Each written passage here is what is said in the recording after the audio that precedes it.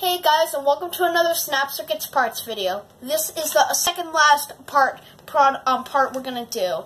So, um, in the previous video, by the way, we did the WC whistle chip. Again, this is the second last um, part we're gonna do ever in the Snap Circuits part series.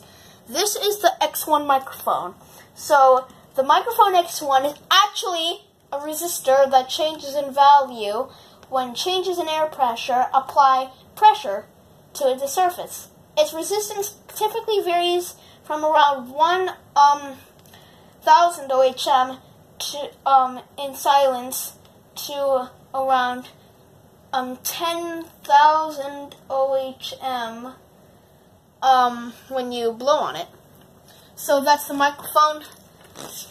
Let's just um, put this in. So this is our project. I'm um this project um what I'm supposed to do is to like make sound in this to make this go dimmer. Let me let me just try. I don't I wanna you guys to see my head. I don't know why that would be weird. Let me just try. uh, nope, it's not gonna work. No. Yeah. Uh, maybe it's not going to work. Maybe I should rather blow on it. Let's pay attention to D1.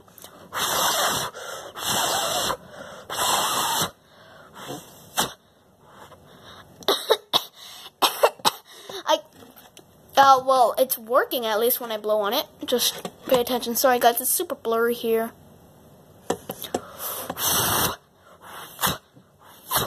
See, like when I release a blow, it changes. Do you see that?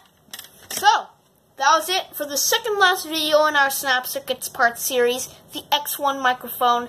I'll see you next time for the next video. Goodbye.